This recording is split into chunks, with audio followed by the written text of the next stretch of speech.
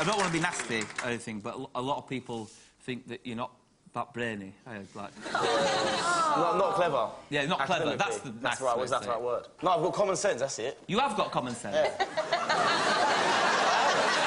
not clever. I'm not clever. in- I weren't clever in school and stuff, but I've got common sense. Yeah, well, I'll tell you what, to prove every, everyone wrong Yeah. um, that thinks this thing of you, um, I'm going to give you a chance to sort of redeem yourself. uh, uh, uh, can we have the lights down a little bit, yeah? Come on, Joe, you can do this, darling. Joey Essex? It's like quizzing, yeah? Eh? Is it like a quiz?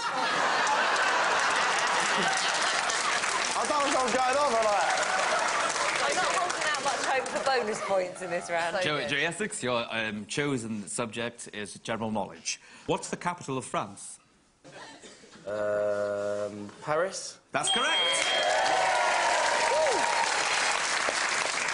What country borders Wales? What country do I born in? What? what country borders Wales? Uh, London?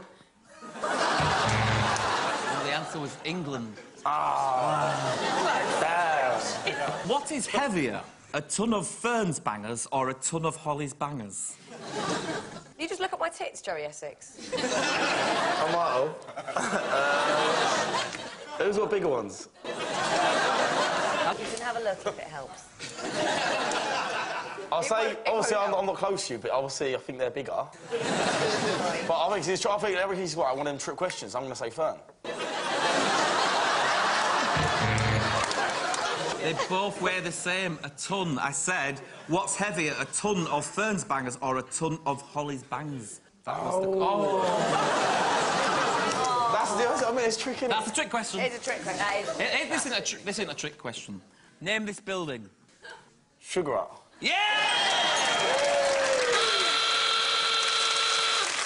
That's a klaxon.